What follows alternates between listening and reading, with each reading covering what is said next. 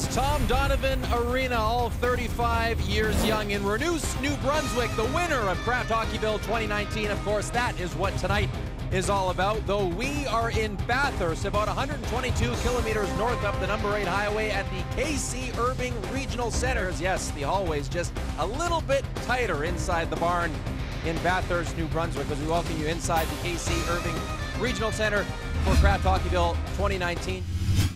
Rebound, Karams all the way to the other side and behind the net. Riley Barber, number 45 for Montreal, took a hard shot there from Dryden Hunt. Montreal with some pressure. That's Nick Cousins, a new face in this Montreal lineup, starts to play. They try to center it, and Cousins can't find it in the crowd, but he's got the puck now. Maybe to just advance up the ice a little more, take a few chances, knowing that you got that good, solid, stay-at-home guy. Good lead pass up to Evans. Evans goes across to Belzile. Belzile in front. They score! Easy tapping in in front for the Montreal Canadiens. Matthew Peca gets the goal, and it's 1-0. Evgeny Dadonov for a long lead pass up to Huberdeau. Huberdeau saucers it in for Barkov, and that just failed to connect. Morgan looks across the ice, and back to bring it up is Kotkaniemi. He's turned it over to Cross. Cross tried a toe drag move. Following up, Borgstrom got in there. And Lindgren is forced to make his first big stop of the night. That's exactly what unites a community and this arena went together in back in 1984. Tom Donovan, as we've seen, is a big part of that. Here's Aaron Ekblad back to Barkov. Barkov, Ekblad shoots up high and Lindgren makes the stop and hangs on. Evans gets onto it, banks it back to the point. Leskinen with a drive right on. And Driedger has got that. There's no rebound. Inside for Huberdeau in front. Hoffman on the backhand. Stopped by Lindgren just as Jonathan Drouin steps out of the box. So they're 0 for 2, but they still got the puck. Here's Ekblad. Quick snap. Shot puck is loose and tapped in by Dadonov. Tie game. This is going to go down as a five-on-five goal as the Montreal Canadiens and Jonathan Drouin come out of the penalty box. And this is just good down-low battling by the Panthers and keeping the puck alive. And it ends up being a nice little interchange here from Hoffman. He looks like he's going to keep it. Then he drops it to Ekblad. His job is to get it to the net. Cuts back inside. Throws it across. Udall's sharp angle drive is handled and held by Driedger. Ryan Poehling settles in to take this draw against Toninato. On his strong side, pulls it back to Barber. Barber shoots right on. Rebound was there for a moment, and Driedger has got it. Here's Pysyk. Pysyk goes cross ice to Huberdeau. Inside the line, leads it for Barkov. Barkov shot that heavy wrister up high on Lindgren, and he's got it. That was part of a four-point night for him, and you don't have to tell Habs fans about him. He's got 14 goals, Gary, in 21 games against the Canadiens. There's a chance in close, and that rebound is clear. Tangled up there with Toninato. Those two wrestle each other down to the ice. Actually, Toninato was the one who went down. Back to the point. There's a drive right on. Scores! Jeff Petry finds its way through, and it's 2-1 Montreal. The Poehling line has been a difficult line to play against, and right there you see Barber finishing his check on Toninato. In comes Poehling. Poehling's going to say, okay, I'm going to head for a change.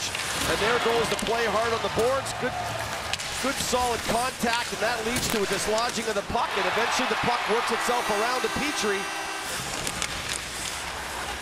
to the point for Leskinen. Leskinen puts it back to the point for Fleury. His shot is stopped by Driedger. Huberdeau feeds it back into the middle for Malgin. That one goes off a skate. Armia's got a chance and a penalty call coming up against Ekblad. It is going to be a hook, and Montreal will get its first power play of the night early.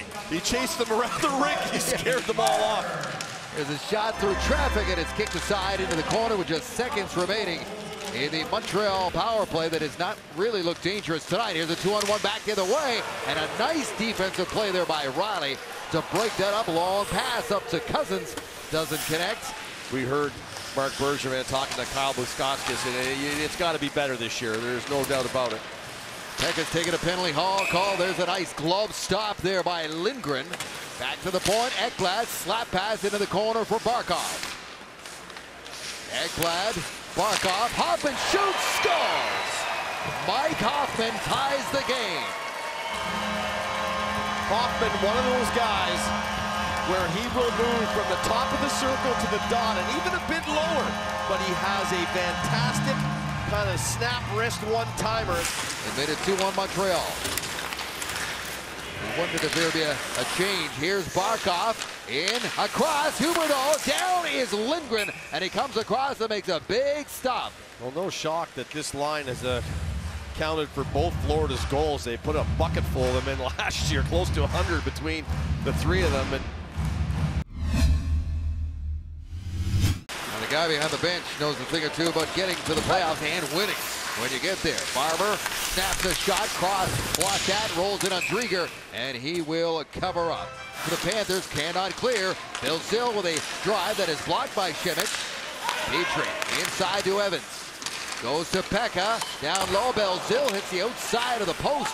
He'll leave it for Huberdeau. Back up to Dadonov. Huberdeau, quick shot, and he just missed. Short side on Lindgren. Mike Matheson drifts another shot in that caroms off of those lively end boards. That's a second big rubber ball bounce we've seen down there. I think Charlie Lindgren thought it was coming out on his stick side, and that thing came back out on the short side. Ekblad gets the puck to sit down, goes rink wide to Dadonov, who's on the fly. Left side, Dadonov in deep, and Petry finished him off, and a penalty call is coming up against Montreal. Quick shot there by Matheson. That stays out. Here's Huberdeau, wide open score. The former St. John Sea snaps one home and gives Florida the lead, 3-2. Petry gave it up to Ekblad, who gave it up to Petry. Now here comes Barber. Barber cuts in, shoots, scores! Riley Barber snaps one home. And it's a tie game, 3-3. Barkov to Huberdeau, cuts in, gets it back to Hoffman, and that one hopped over his stick. Here comes Poehling, short-handed, racing away. Ryan Poehling goes in and tips it bumped by Barazil. Scores! What a goal! Belzile with a goal. We told you he led Laval last year in goals and points. A beauty off the rush. Five and a half to go. Time is going to run out to the Florida Panthers, and the Montreal Canadiens are going to win tonight in Bathurst, New Brunswick, 4-3 with a comeback in the third period as they beat the Panthers. What a fantastic day for Renous in Bathurst, New Brunswick in general, the fans, the people that voted for Kraft Hockeyville here. It was a wonderful choice. Dave, you and I showed up this morning to blown away by the number of people that were lined up outside. These two teams came in, they treated these fans to a wonderful game. They walked the red carpet, they signed autographs for a very, very long time. They were both really thrilled to be here. You could see it on the faces of the players, and it didn't disappoint. What a great hockey game. 4-3 win by the Canadiens and a nice come from behind, and maybe that's the way it's supposed to be with 99% of these jerseys in this building, Montreal Canadiens.